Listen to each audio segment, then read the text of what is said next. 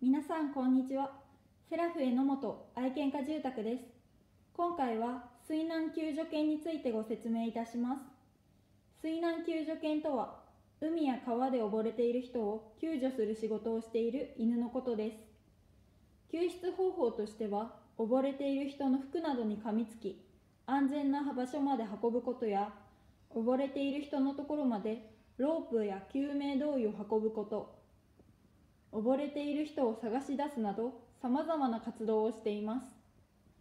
救助は2頭がペアとなり行う場合が一般的だそうです。水難救助犬として活躍する代表的な犬種としてはニューファンドランドやラブラドールレトリバーゴールデンレトリバーがいます。